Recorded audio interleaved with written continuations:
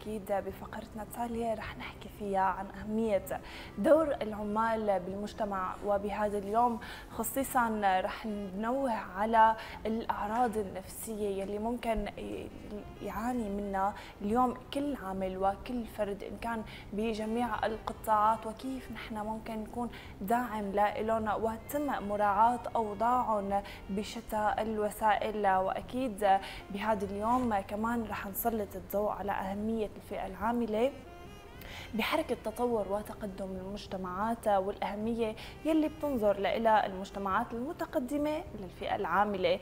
ومن حيث الحقوق والواجبات والحفاظ على السلامة المهنية كمان وشو هي المعايير يلي ممكن اليوم نتبعها لحتى كمان نحافظ على السلامة المهنية. كل هاي التفاصيل رح ناقشها اليوم مع الدكتورة بعلم النفس غالية سعيد. صباح الخير وكل عام وأنت بألف خير. يا صباح الخير. يسعد صباحك. وكل عام وأنتم بألف خير انت كل حدا إن شاء الله عامل يكون بألف صحة وسلامة وخير. وانت بألف خير يا رب. يعني عم نحكي عن موضوع كثير مهم. العمل طبعا. اليوم هو أساس فينا نقول لحد لاستمرار الحياة عنا. صحيح. آه إن كان مهما كان العمل مهما كانت طبيعته أو مجالاته كله بيكمل بعضه. طبعا. غالية خلينا هيك بداية نحكي للمشاهدين عن أهمية هذا اليوم يوم العالمي لعيد العمال. وقد إيه هو اليوم فعلا بيأثر على العمال؟ خبرينا أكثر. تمام. هلأ مثل ما تفضلتي أول شيء وتحدثتوا انه العمل باساسا هو يعني إذا نختصر هذا المفهوم الواسع جدا والفضفاض فهو العمل عبادة. وبكل الشرائع وبكل الأديان وكل المسميات دائما بتشعر إنه هو العمل فعلا بيعطي قيمة مضاعفة للإنسان. آه بيعطي حالة من الثقة حالة من الوجود والتمكن. آه الإحساس بإمكانية إنه أنا فاعل بهذا الحياة. فالعمل شو من كانوا؟ يعني اختصرناه بهذا التعريف إنه هو العمل عبادة بحد ذاته.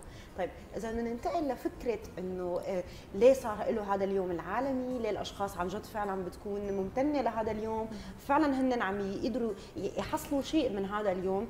بما أنه مفهوم العمل هو بكافة المناحي وبكافة التعريفات وبكل المجتمعات هو شيء عظيم جدا ولا يقدر بأي ثمن. فلذلك لما وجد هذا اليوم هو أكيد ما راح يكون هو يوم واحد للتعبير عن العمل والعاملين وكل الأشخاص بكافة المجالات إنما هو شيء من الحالة الرمزية. ليه؟ لأنه بالحالة النفسية دائما بيقولوا لك لما أي إنسان بتقدسي له نهار أو بتعطيه يوم يكون في له شيء ميزة أو فاعلية أساسا آه، حالة نفسية. هي يمكن تكون كأمور مادية ما تعمل له أي شيء لكن الحالة النفسية بالنسبة له باي يوم تعطي إمكانية خاصة بتسلطي عليه الضوء بطريقة معينة أكثر. ممكن تعطيه حالة من التميز حالة من التفرد. يمكن يكون 359 يوم هو شخص يعتبر نفسه هو عم يقوم بواجبه. لكن بهذا النهار هيك من كلمه مثل ما تفضلتوا أنتم عم تبدوا انه كل عام وانت بخير كل شخص عامل بكل مجال. صحيح. يعني يشعر شوي بالاستثناء بالتميز انه فعلا في حدا عم بيقدر هذا جهوده. الجانب النفسي وهذا المجهود اللي عم يتقدم.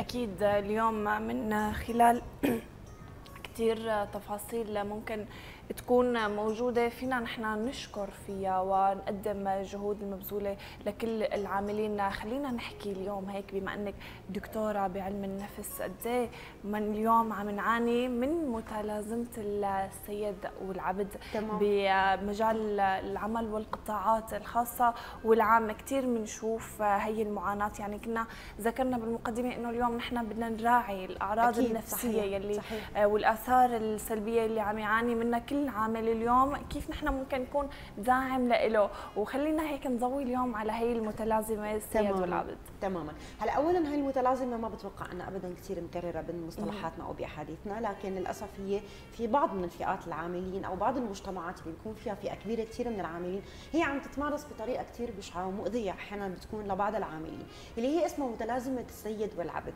هلا هي المتلازمة قلت لك كاسم أو مصطلح يمكن هي غريبة ولكن هي يعني مستباحة كثير الفئات العاملة. بتتلخص هي المتلازمة أو هي الفكرة إنه أحيانا بعض أصحاب أرباب الأعمال آه، ممكن تكون يعني الظروف تكون مؤاتية لهم فجأة فإنهم يصيروا فعلا أرباب أعمال بين ليله وضحاها. أو ممكن يكونوا أساسا مو مجهزين لفكرة إنه يكون آه، مدير أو رب عمل أو شيء. على فكرة ممكن الانسان صار في عنده إمكانية مادية أو بعض المقومات هو جاهز لحتى يصير رب عمل يكون قائم على عاملين. هي نقطة كثير مهمة نحن بنقول لهم إنه رجاء لما يكون أي شخص عم يعمل منشأة شو من كان نوعها وكان هو هو المسؤول أو المباشر عنها فكتير مهم إنه يراعي الجانب النفسي بهذا الشيء من خلال استقطاب العاملين مراعاه الحالة النفسية تبعهم. آه، حتى معرفة الفروق الفردية وهي نقطة كثير مهمة. صحيح. تلاقي شخص عنده فئة كثير كبيرة من العاملين ما في عنده فكرة إنه شو يعني فروق فردية. إنه لازم بيتوقع إنه الكل يكون عندهم نفس الإنتاجية الكل يكون عندهم نفس, نفس القدرة. الكل يكون عندهم نفس القدرة على التحمل. آه الكل لازم يكون عنده آه نفس الإطاعة مثل ما بيقول. هذا الشيء كثير سيء بمنهجية العمل وبالتالي هو بيعمل فروقات وشروخات كثير بمنهجية العمل. تجي متلازمه السيد والعبد للأسف بعض الأشخاص بيكونوا متمكنين بمركز إنه أصحاب عمل أو أرباب عمل أو مشرفين عليه فبتطلع عندهم الأنا الأعظم تبعهم إنه أنا السيد وأنا الأمر الناهي أنا الشخص اللي قوانيني بتمشي. يمكن أحيانا بنشوفها ببعض المسلسلات الدرامية أو بعض حتى المواقف الحياتية. إنه بيدخل مثلا شخص عامل عم يحاول يبرر أو يعتذر أو حتى يوضح إنه في مشكلة بالعمل فبتلاقي بتطلع الأنا تبعه إنه لا أنت ما بتعرف تعال خذ مكاني. هي الكلمة المشهورة. تعال خذ مكاني وعلمني شو لازم أعمل. هي الأشياء كلياتها. للوهله الأولى ما له مسموح ولا مصرح للشخص إذا كان رب عمل أو مسؤول إنه أساسا يتلفظ بهي الكلمات. ليه؟ لأنه البنية التحتية المتمثلة بالعمال هي على فكرة النواة الحقيقية لأي مشروع إنتاجي. ثقي تماما. أي إنجاز أي صرح شو ما كان بأي مجال. بس تشوفيه ناجح تأكدي إنه مو بس الإدارة الفاعلة لأنه الإدارة ممكن تكون مع احترامنا لها وكل الجهود المبذولة. هي بتكون صورة ملمعة. حتى ممكن تكون غافلة يعني تماما. لكن مثل ما بيقولوا المحرك الأساسي مين بيكون؟ هو العامل اللي بيكون جندي المجهول. هو الشخص اللي بيكون من وراء المكاتب. وهو ما عم يطلع لا سوشيال ميديا ولا عم يطلع بالإعلام ولا عم يتوضح. هدول الأشخاص بيكون لهم دور كثير مهم.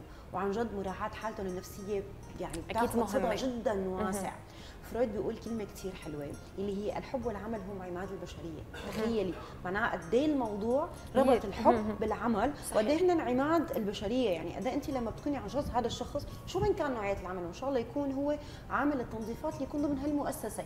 قد إيه يكون لما بياخذ استحقاقه الذاتي لما بياخذ فعلا دعمه بحالة نفسية من رب العمل وما تواليه يكون إنتاجيته أكثر يا عيني عليك. وأهم شيء بتنمي عنده بذرة الإخلاص لأنه أي شخص عامل بس تطلع عنده فكرة الإخلاص فثقي تماما إنه أنت عم تعملي بيئة عمل آمنة وصحية. طيب غالية تعرفنا على متلازمة السيد والعبد. طيب كمان في عندنا متلازمة نسمع عنها كثير وكثير من الأشخاص يمكن بيعانوا منها متلازمة فينا نقول الاحتراق الوظيفي. خبرينا عنه أكثر عن طبيعة العمل اللي بتكون موجودة فيه عن الآثار السلبية اللي ممكن يخليها هيدا العمل على الأشخاص العاملين ضمن أي مؤسسة أو أي شركة. تمام. هلأ مثل ما تفضلتي يا عزيزتي مثل ما كنا عم نحكي على السيد والعبد ومين بيلعب دورين وبيشعر نفسه إنه هو المظلوم فيها أكثر ننتقل على الجانب الآخر عنها هي متلازمه الاحتراق الوظيفي. وهي تعرفت إنه هي الانغراق الكامل للعاملين أو الأشخاص القائمين على العمل بالعمل ضمن بدون مراعاة الظروف الخاصة أو الاجتماعية أو حتى عمل استثناءات. هدول الأشخاص بيكونوا من كثره الإنتاجية والإخلاص. نحن أكيد بنوجه لهم شكر بنقول لهم شكرا على هي الإخلاص وعلى هي الإنتاجية الرائعة والعالية. لكن هدول الأشخاص بيكونوا عم يتجهوا لفكرة إنه أنا لازم كمل العمل على أكمل وجه وبالتالي هدول الأشخاص بيفوتوا بالانغراق الكامل. نحن بنقول له نفسيا حالة الاحتراق الوظيفي يلي هو إنه هذا الشخص بينقل عمله للأسف من بيته لعمله لحالة الاجتماعية يعني ما في عنده شيء اسمه الفصل. وهون بيكون الفخ الأكبر نفسيا. لأنه دول الأشخاص قد ما في عندهم إنتاجية وقد ما هن بيكونوا كثير مبدعين لكن ما بيقدروا يفصلوا العمل عن حدود المكان اللي هن بيشتغلوا فيه. فبينقلوه على بيتهم بينقلوه على حياتهم الاجتماعية. كثير صعبة. آه بتلاقي بعد فترة بلشوا يعانوا من كثير من الأشياء المزعجة حتى أنهم بيشعروا إنه الثناء أو المدح أو الإطراء عليهم ما بيكون بالقدر اللي هن بيبذلوه. نحن بنرجع بنقول أكيد هن مشكورين على كل حركة مضاعفه عم يعملوها لكن كمان نحن ما بدنا نفوت بدوامة الاحتراق الوظيفي. يعني ما بدنا نقول إنه نحن الانغماسية الكاملة بالعمل. أنا ممكن تأذيني بالنهاية. أنا ممكن أطلع شخص عندي بعض المشاكل النفسية. آه، ممكن بالنهاية هذا العمل اللي أنا موجود خاصة إذا أنا ما كنت مسؤول عنه انسحب منه أو إنه أنفصل عنه أو لاقي فرصة ثانية فتخيلي إنه قديش ممكن يكونوا عاملين احتراق كامل لأنفسهم بهذا المكان وآخر شيء إنه لا نطلع إنه نحن أصحاب العمل ولا يطلع للأسف بعض أصحاب العمل عم يقدروا هذا الشيء صحيح. اليوم كمان دكتور عم نشوف كثير من الأشخاص آه، قلقين حتى وهنن عندهم مهنة عم يشتغلوا فيها إن كان موظف أو حتى عنده مهنة صحيح. خاصة في دائما القلق وحالة عدم الاستقرار أو الخوف موجودة آه، في كثير من التفاصيل يمكن اليوم رح نقدر نضوي عليها اللي هي السلامة المهنية. يعني هون وين في سلامة مهنية اليوم؟ كيف نحن يعني نضوي على هي المعايير ونلتمس فيها أكثر وكمان نشتغل عليها أكثر تماما. السلامه المهنيه كثير حلوة هي الكلمة. مم. ليه؟ لأنه أنا كثير بيهمني حالة الأمن والأمان يلي بيشعر فيها العامل. تمام. في بعض المنشآت أو الأشخاص اللي بتكون عندهم عاملين بيتبعوا طريقة نفسية كثير سيئة واللي هي حالة الرعب وبس الخوف وعدم الأمان للعاملين. هلا حنحكي فيها بواقعية. كثير ناس بتدخل على بعض القطاعات فبتلاقي بيوقع عقد العمل ومعه عقد الاستقالة صحيح. فورا. ليه؟ لأنه آه، ممكن يكون إنه في حال رب العمل ما عجبه أو صار في عنده بديل هو بيحبه أو أو أو أو بدون ما يرجع لهذا الشخص اللي كان عم يمله على منتاج آه، منهجية أو عمل أو عم يكون قائم بمكانه بشكل كثير حلو. فبيروح من حاله هو مسبقا عم يعمل له هذا الشيء فإنه خلص بيعطيه تاريخ وبيعطيه وقت وبيخلص هي الإجراءات. فعليا هي تعتبر من الإجراءات السيئة جدا اللي تمارس بحق أي عامل بأي منشأة. ويعني حتى قانونيا أنا بتوقع إنه هي لا تجوز ابدا إنه كيف أنا عم وقع على طلب انفصالي عن هذا العمل بحيث لسه أنا ما باشرت بهذا الشيء. هذا كثير سيء هذا التصرفات. وهي اللي ممكن تعمل حالة من عدم الثقة وعدم الأمان. وبالتالي أي إنسان فينا شو ما كان وضعية العمل اللي عم يشتغل فيها. هلأ نحن ما نكون قاعدين نشعر إنه يقولوا لنا بأي لحظة ممكن أنتم تكونوا برا. حتكوني متوترة. وقلقه أو قلقه وبالتالي دراسة نفسية بتقول لك التوتر والقلق هو يبعد مراكز الإبداع. أي شخص بيعايش بحالة من التوتر والقلق مستحيل يبدع لأنه هو بس عم يكون عم يحاول يدور على حالة الأمان. وبالتالي هالاشياء اللي هي السلامة المهنية اللي تحدثتي عنها. أكيد صاحب العمل عنده آه، إمكانية. لما بيشعر إنه العامل اللي موجود بهذا المكان هو غير كفؤ يا بيرجعه لمكانه المناسب أو بيوجه للملاحظات بالطريقة المناسبة. آه، لكن ما عنده القدرة إنه دائما مضل عايشه بهذا الإحساس إنه ليك أنا بأي لحظة بقول لك باي باي انتهت صلاحية العمل معي بدون أساسا ما أرجع لك. هذا بحد ذاته هي تعتبر من أهم خطوات السلامه المهنية، النقطة الثانية اللي هي حكينا عنها اللي هي مراعاة الفروق الفردية، كثير مهم لما بنعين أي شخص عامل معنا شو ما كان نوع المنشأة، نراعي الفروق الفردية، أنا أعي تماما إنه أنا كصاحب عمل مثلا بحب الصورة المثالية، لكن أنا ما بتوقع دائما من كل الأشخاص اللي عاملين معي إنه يعطوني الصورة المثالية، في فروق فردية، لما بنكون صغار لتنتهي آخر مرحلة بحياتنا بتضل عندنا عندنا الفروق الفردية. أشخاص مبدعين بالنظر أشخاص عندهم مبدعين بالعمل أشخاص مبدعين بالأعطاء اراء أشخاص أشخاص هي مراعاة. والمقارنة اللي هو العدو المخيف بكافة مجالات الحياة. بيجي صاحب العمل للأسف بيعمل مقارنات علنية. بهدف هو برأيه إنه عم يعمل منافسة. لكن لما بينزل على بيئة العمل بيلاقي إنه هو عم يعمل لهم شرارة أذى. إنه فلان أفضل مني طيب أنت عم تمدحه فأنا بدي أذي. فالمدح آه، المساواة آه، الفروق الفردية حالة الإحساس بالأمان هي كلها أشياء لازم فعلا رب العمل. يعطيها للشخص العامل حتى يعطيه أفضل وأعظم من مجالات الإنتاجية اللي عنده. طيب هي المعايير معايير السلامة المهنية اللي ذكرتيها حضرتك اليوم كيف الشخص بيقدر يتعرف عليها لحتى يطبقها بحياته اليوم؟ يعني فينا نقول نركز على الدورات التدريبية على الكورسات يلي تقام اليوم لتهيئ الناس اليوم الأشخاص اللي حابين يدخلوا بسوق العمل. هل هن قادرين اليوم يستفادوا من هي الكورسات؟ طبعا أكيد. شوفي يا عزيزتي اللطيفة. في نقطة كثير مهمة اللي هي قد ما كان عندنا تحصيل دراسي عالي هو مقدر ومحترم ومهم جدا وجوده بجانب العمل. لكن بنحطه بجانب وبننزل على الخبرة الحياتية. صحيح. لما درسنا بالجامعة قد إيه أخذنا معلومات كثير حلوة ولما نزلنا على سوق العمل لقينا إنه المعلومات حلوة وجميلة لكن ليست كلها تطبق على أرض الواقع. وبالتالي بتلاقي إنه كل ما كان عندنا خبرة حياتية أكبر من خلال التدريبات أو المجالات العملية أو الأماكن اللي ممكن تقدم لنا فعلا عمل على أرض الواقع. حتلاقي إنه في اختلاف كثير كبير نعم إنه الدراسة اللي بندرسها ورقيا هي كثير جميلة وممتعة وبتعطينا معلومات ثقافية عالية جدا ولكن لما بننزل على أرض الواقع أنا بقول لك تختلف تماما وحتلاقي خبرات جديدة مهارات جديدة. حتى أحيانا كثير من وقت بنقول إيه ما درسونا إياها بالجامعة إيه ما عرفنا هيك شيء منين جايبين هاي هي النظريه أساسا. صحيح. حتنزلي على سوق العمل حتلاقي نظريات لم تدرس. نظريات احتماليات إحداثيات أساسا هي ما موجودة بالكتب لكن بالخبرة الحياتية كل الناس عم تتعايش معها. كل الناس يعني عندها قدرة إنه آه آه الأغلبية إنه أنت لما بتكون بارع بهي القصة بهي القصة فأنت رح تكون كثير شو ناجح بهذا الموضوع. سوق العمل التدريب الخبرات الحياتية الكورسات الأشياء اللي كلها بتعلم. كلها بتثقل المهاره بشكل كثير كبير هلأ حيطلع حدا عم يحضرنا. طب بقول أنا كثير عملت هدول الدورات. يعني ما بحس حالي إنه أنا استفدت. هذا الشيء اللي بيلعب فيه دور العقل اللي هي بتكون الخبرات المتراكمة. أه. يعني أنا برايي إني أنا ما استفدت. لكن ثقوا تماما. ما في نقاش أو دورة أو تدريب أو حتى حديث عابر بتقعدي فيه مع أي شخص مختلف أو غريب عنك إلا ما تاخذي على الأقل يا أختي كلمة واحدة. صحيح. تخيلي قد إيه معناتها. هي بترجع لما فعلا أنا بنحط بمكان العمل وبتفاجئ من نفسي. من منين طلعت هي بتروح إنه بلاقي هي معلومات تراكمية. خلينا كمان هيك شوي نطلع من القصص السلبية ونروح على الجانب الإيجابي. كمان بنفس الوقت كثير بنشوف أرباب عمل آه، بيتعاملوا مع العمال يلي طبعا. عندهم مو عندهم معهم.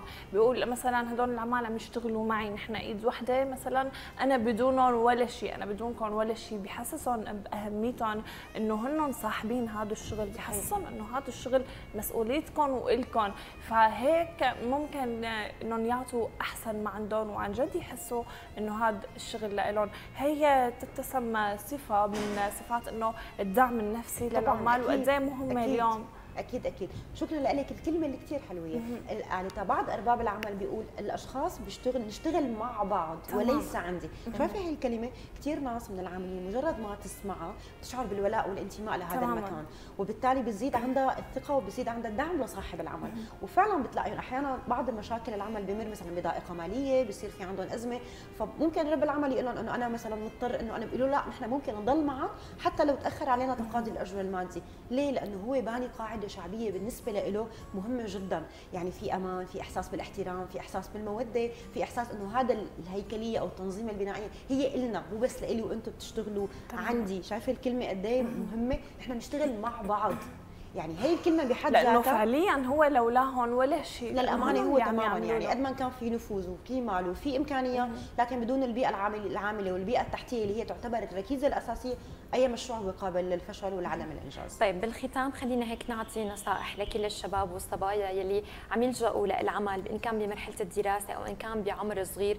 الشباب الطموحين يلي عم ينجزوا كثير من الأشياء واللي عم يقدروا يصرفوا على حالهم بهي الأوقات. خبرينا هيك نصيحة سريعة منك لهم تماما. مثل ما تفضلتي العمل هو عبادة شو من كان نوعه ولازم أكيد دائما نبدأ فيه ولو حتى بمراحل عمرية صغيرة وشو من كان وحتى لو ما كان الأجر المالي هو عالي جدا لكن ثقي تماما إنه هو بيعطي قيمة مضاعفة للإنسان بيعطي إحساس بالوجود بالمسؤولية بالإحساس إنه أنا فعلا إنسان عامل عم بقدر أعمل قيمة أو حياة بوجود بهي الحياة. فلذلك لا تستخفوا بأي فرصة عمل لا تستخفوا بأي فرصة ممكن تجينا حتى لو ما كان اجر المالي جيد لأنه بالنهاية هي خبرات تراكمية. أكيد دكتورة بدنا نرجع نقول لك كل عام وأنت بألف خير وشكرا كثير يعني عن جد أنا شخصيا استمتعت بهالفقرة وفيها نصائح جدا مهمة. وحكينا عن موضوع اليوم كثير مهم وبيلامس كثير من العمال. وطبعا كمان أسياد العمل شكرا كثير لك كثير لكم. شكرا لك كثير دكتورة غالية. لكل الكلمات اللي حكيتيها المحفزة واللي كلها طاقة. ولوجودك معنا لليوم. وكل عام وانت شكرا لك. العام وأنتم بألف خير. وسهلا.